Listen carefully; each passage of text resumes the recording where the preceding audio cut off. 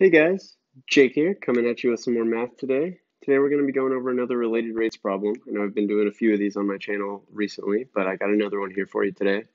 Today we're going to be doing a related rates cylinder tank problem. Um, so maybe you've seen a problem like this before. Uh, essentially, we have the cylindrical tank, just means it's a tank in the shape of a cylinder with radius 5 meters, and it's being filled with water at a rate of 3 cubic meters per minute. And then it asks, how fast is the height of the water increasing? So this is kind of a weird problem because when you first read this, it seems like we don't really have enough information, right? It just says how fast water is being pumped into this tank. Um, it doesn't tell us the height of the tank or it doesn't tell us the height of the water at the moment when we're measuring. It really just tells us the radius of the tank and how quickly water is being pumped into the tank, which this measurement here, three, three cubic meters per minute, that is a rate of how fast water is being put into the tank, which is a, a measure of how quickly the volume of the water in the tank is increasing. So essentially, we have some information about the volume of water in the tank and the radius of the tank which pretty much tells us the radius of the water in the tank. But we don't really have any information about the height of anything. So it seems kind of weird. Um, like maybe we don't have enough info to, to solve this. So that kind of makes you wonder how are we going to deal with the fact that we don't know anything about the height? Um, and you might be thinking maybe we could just put in some random value for the height and see what happens.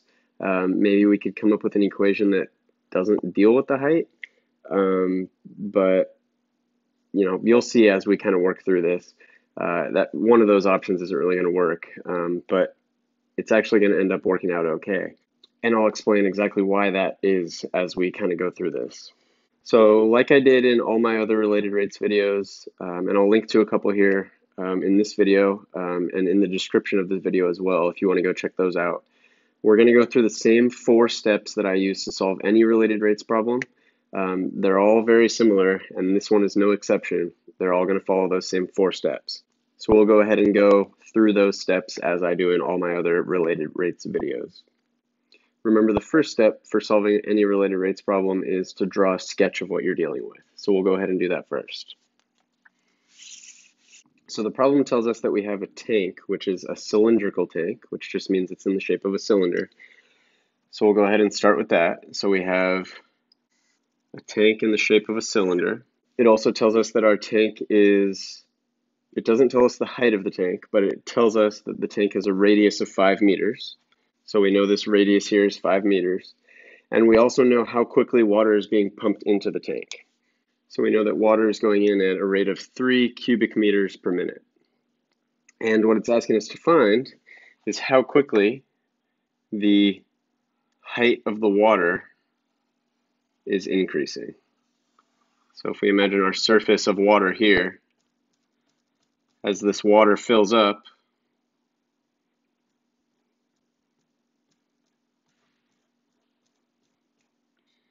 how quickly is this height increasing? This is what we're looking for, is how quickly the, the surface of that water is increasing. So this is really all the information that we are given. We don't really have anything else other than this. So based on this, let's go ahead and go on to our second step now, which is to come up with an equation, which we will take the derivative of later on. So whenever you're coming up with this equation, you want to think about a couple things to figure out what needs to be in your equation, what you can put in your equation, and what you need to avoid putting in your equation. So the first thing you want to think about is what are you looking for? We know that we need to find the rate that the surface of this water is going up, which in other words, what you could think of is how quickly the height of our water is increasing. How quickly this height is changing would be exactly what what is represented by um, the rate that the water is rising. So since we know that we need to find the rate of change of h, that would be the same as saying dh dt. That means how fast the height is changing with respect to time. So, in other words, the speed that the water is rising. But remember, our equation should not have any rates of change in it. It should not have d anything dt in it. What we're going to do in the next step is take the derivative. So what you want to think about is what do we need to put in our equation so that when we take its derivative, we'll end up with a dh dt. Well, if we take the derivative of h with respect to time, we'll end up getting dh dt. So that tells us we need our equation to have an h in it, so that when we go on to the next step and take the derivative, we'll end up with a dh dt, which is exactly what our question is asking us for. So we know that h has to be in this. What we also want to think about is what other information we know. Well, the only other thing we are given is the radius of this cylinder, which notice as this water fills up, no matter what height the water's at, it's always going to be a cylinder which has the same radius as the tank and the height will be changing. So no matter what level the water's at, whether we just started filling it or whether it's getting filled up to the top, the shape of this water is always going to be a cylinder with radius 5. So we actually do have some information about the radius of the cylinder. So it's okay to have radius in our equation.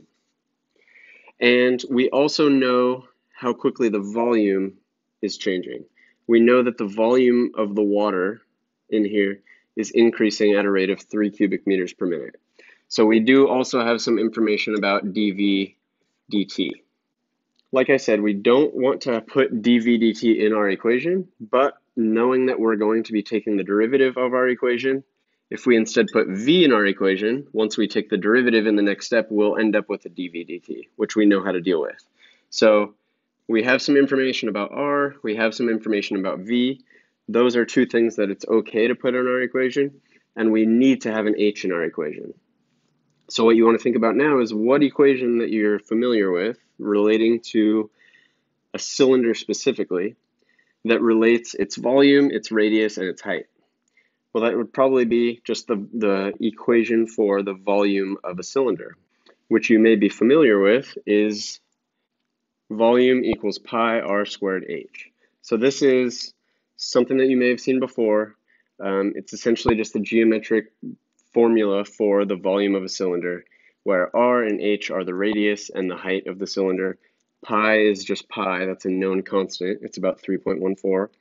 So we now have this equation here which relates the volume, the radius, and the height of a cylinder, which is exactly what we wanted our equation to have. So now we've come up with our equation.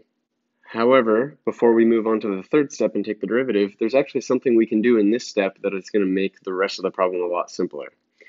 So normally in a related rates problem, we have, you know, this volume is changing, this radius is changing, and this height is changing over time. But in this case, since we're dealing with a cylinder, before I mentioned that as the water is being pumped into this tank and this shorter cylinder increases in height, the radius of this cylinder doesn't change at all. It's always going to be five meters. And that's because the sides of this cylindrical tank or the sides of the cylinder, they're perfectly vertical, right? They're they're not going out like a cone would or you know going in. They're going to stay the same distance away from each other, and they're always going to stay five meters away from the center of, of the cylinder. So as a result, our radius of our cylinder is actually not changing over time. Over time, the radius is staying the same. It's staying at a constant five meters. Since it's not changing over time, we can actually plug in our constant five for our radius right now. I do really want to stress the fact that the only reason we can do this is because the radius is not changing. If the radius were changing in any way as time went on, as water was pumped into this, this tank, we would not be able to do this and we would need to take the derivative and figure out how to take the derivative of the radius with respect to time. But since the radius is not changing, it's okay to go ahead and plug it in now. That's really the key that allows us to do this. And it really is going to make things simpler for us going forward. So if we plug in 5 for our radius, we would get this, right? Just replaced our radius with 5 because we know that our radius is always 5. And then we can simplify this. So that would just be volume equals 5 squared is 25, so we'll just get 25 pi times h. So now, this is the equation that we'll want to go forward into the next step with. This equation is a little bit simpler because we only have one variable over here and one variable over here. So now, we'll go ahead and go into the third step, which is always going to be the third step for any related rates problem, which is to take the derivative of our equation that we just found with respect to time. So all we're going to do is take the derivative with respect to time of this whole equation. V equals 25 pi h. Okay, so we're taking the derivative of both sides of this equation with respect to time. So what that means is we need to treat V and H as functions of time. So they're not just variables anymore, they're actually functions of time. So when we take the derivative of V with respect to time, since V is not a variable, it's going to be a function now. We don't really know what the function for V is in terms of time. We don't have an explicit formula for it. So as a result, we aren't going to get an explicit derivative for it. So the best we can do is to just say dv dt. This literally just means the derivative of v with respect to time. So now we want to apply the same thing over here to this side. So remember, when we're taking the derivative of a constant times some function, we can pull the constant out of our derivative and just have 25 pi times the derivative of our function. So the derivative of h, it's gonna we're gonna have to treat h just like we treated v over here. h is a function of time now. It's not a variable. So as a result, when we take the derivative of h, we're just gonna get dh dt.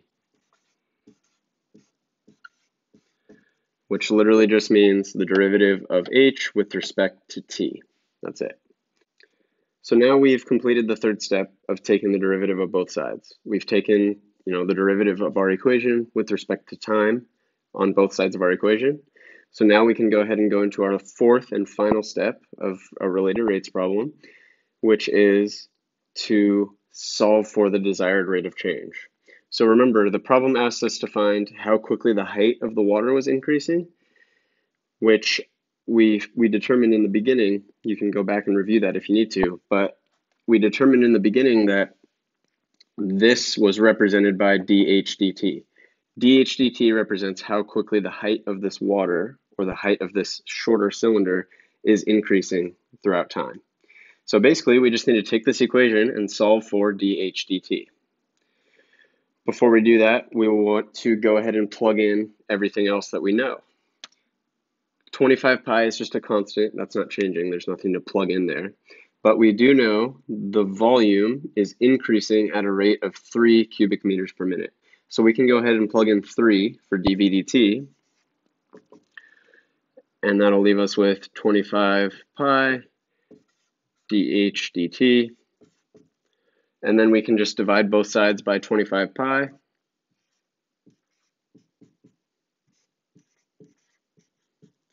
That'll cancel that.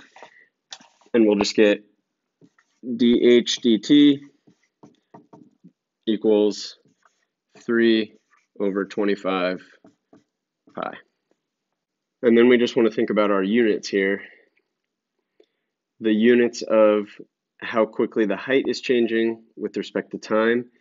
The units of that is just going to be whatever the units of height was over whatever the units of time was. Our height we could assume is measured in meters because everything else is measured in meters in this problem. Our radius is in meters, the volume is cubic meters, so our height is probably going to be meters as well. Or not probably, it will be meters.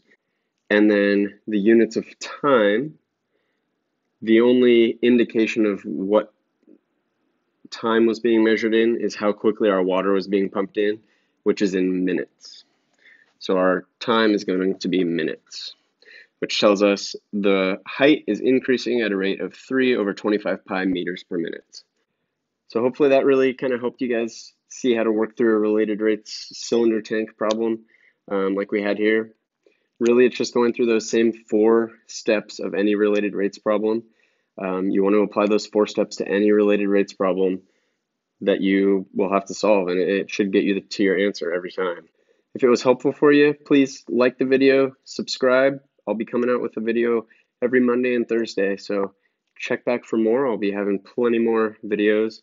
Um, if you have any questions that I did not address in this video, please drop it in the comment section below. I'd be happy to help answer any additional questions for you, especially those that I didn't answer in this video, uh, you know, that you're kind of getting stuck on. I'd be happy to explain them further for you.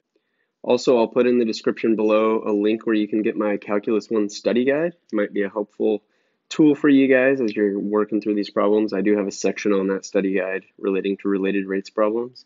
Um, so that could be helpful. Go check that out. But otherwise, that wraps things up. So hope to see you guys back soon. Um, I'll be coming out with another video in the next couple of days, and I hope you uh, subscribe, hit the little bell icon so you can be notified when that comes out, and uh, I hope to see you back soon.